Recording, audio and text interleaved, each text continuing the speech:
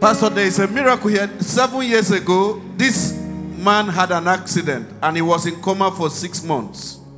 When he came out of the Coma coma, for six months. when he came out of the coma, the doctor said he will not be able to regain all his memory till maybe after 50 something years. After 50 something years. And then the leftover of that is that there was a sharp pain on the right side of his head. Tonight, as prayer was going on, when you were uh, uh, I mean, uh, giving the word, the pen left. He is fine now. He's okay. Come on, my dear. The accident happened when? About seven years ago. Seven years ago. Come, sir. If we're to go by the doctor, thank God that there is a doctor that cancels all those their prediction.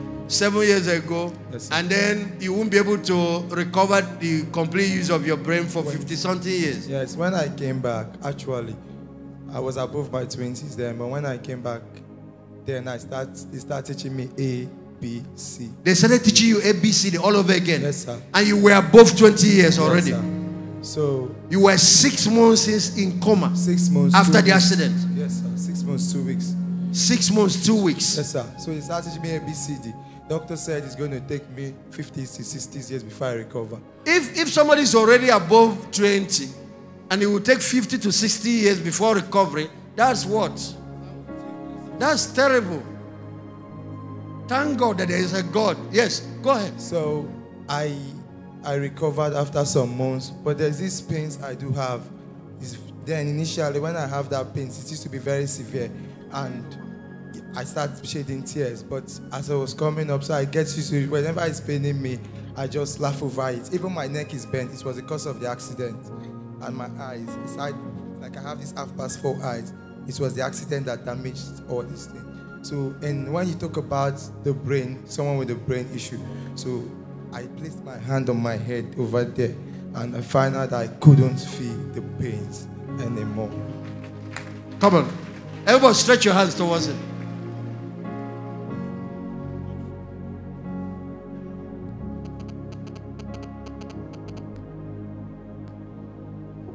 Thank you, Lord, for healing this man. Thank you. Thank you for healing him. Thank you. You're going to go back to everything that God wrote for you in His book before sending you to earth, and you will fulfill every one of your destiny.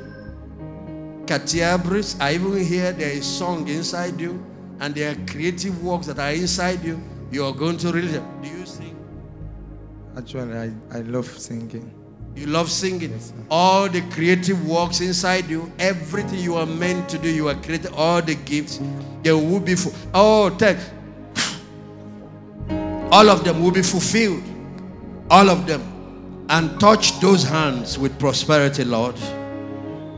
May this guy a wonder. And you will use his life to bring many to know you. Thank you, Lord.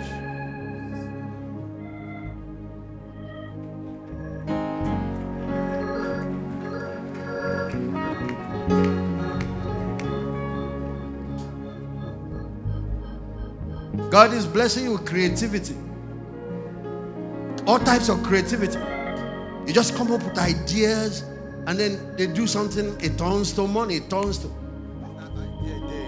I've, I lost that idea. I do have this idea that whenever I bring up something, anything it sells. But after the accident, I lost those ideas. It's back. Amen. Amen. Amen. Amen. The way you heard me laughing, that's what was going on. That's what.